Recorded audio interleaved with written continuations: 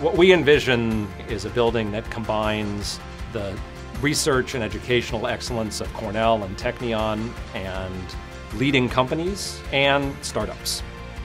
The bridge is a building that removes the boundaries and the walls that often get in the way of innovation.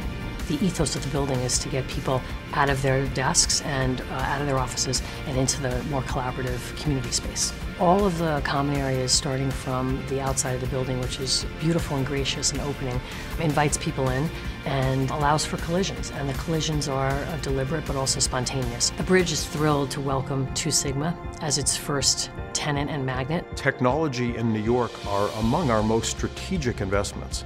It's why we felt we just had to be at the bridge. We've termed our space the Two Sigma Collision Lab.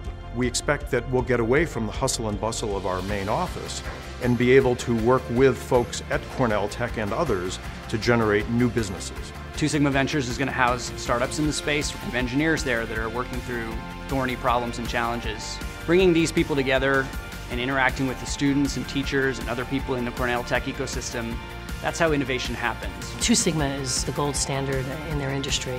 Their desire to get the best and the brightest to work in the company is an important objective, and what better place to do that than one of the most sophisticated applied sciences campuses in all of the world. The bridge at Cornell Tech will create the largest pool of talent for the innovation economy in New York City and launch companies that will change the world.